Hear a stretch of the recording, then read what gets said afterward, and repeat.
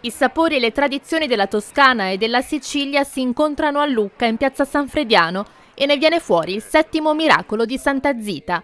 Stiamo parlando dell'ultimo biscotto sfornato dal caffè di Michele Tambellini, la cui ricetta evoca un nuovo valore simbolico, un ponte ideale tra la città delle mura e Modica, piccolo centro della Sicilia ragusana famosa al mondo per l'arte del cioccolato. Il nuovo prodotto è stato ideato dal maestro pasticcere Pierpaolo Ruta, titolare dell'antica dolceria Bonaiuto, a Modica dal 1880. È la più longeva fabbrica di cioccolato in Sicilia, ancora in attività. A presentare la novità, come ormai consuetudine dal 2017 in occasione della ricorrenza del 27 aprile, è stato il padrone di casa Tambellini insieme al pasticcere Matteo Mazzoni.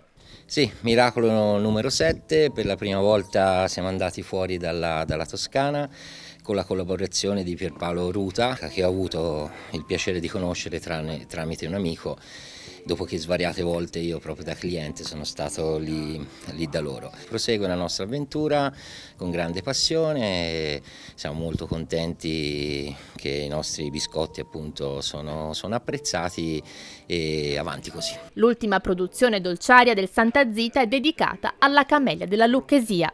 Ma in realtà abbiamo cercato di portare quello che sono le caratteristiche dei nostri dolci e quindi abbiamo utilizzato sia la mandorla che è molto presente nel dolce siciliano e sia il cioccolato che per noi è praticamente qualcosa che ti scorre nelle vene, soprattutto a Modica.